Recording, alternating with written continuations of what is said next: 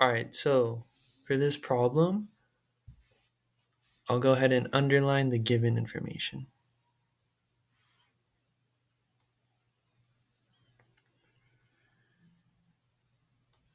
And it's giving us a thermochemical equation with the heat produced from uh, the reaction along with 267 kilojoules of heat.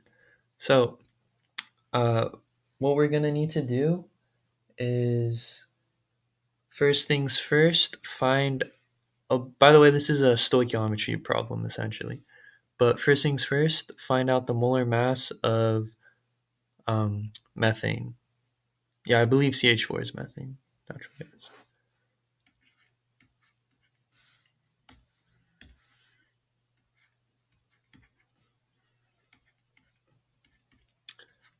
Molar mass of carbon is 12. Molar mass of hydrogen is basically 1. So 1 times 4, 4. Add them together and you get 16 grams per mole.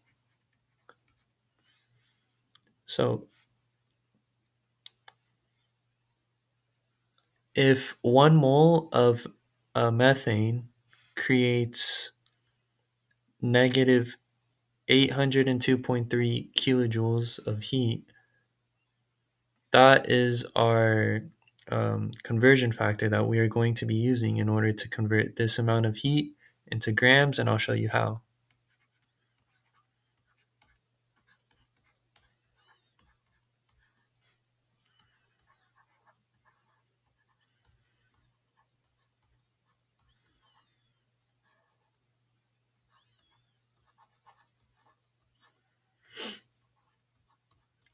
And that is how you do it. That's a conversion factor, but it's asking for the mass, which is grams, which is why we did this part here.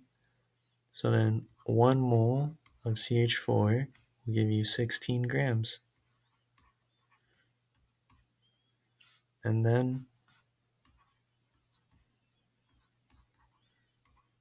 uh, you use dimensional analysis, which just means you help use the units to help you figure it out, and everything will cancel.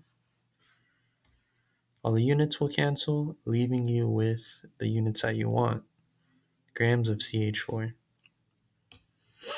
So now you just plug these values into your calculator. 267 divided by negative 802.3 times 16 will give you a negative 5.32, but don't write the negative because that does not make sense to have a negative mass, right? Well, regardless, this is your answer. Yeah, I hope I helped out. Thank you for watching.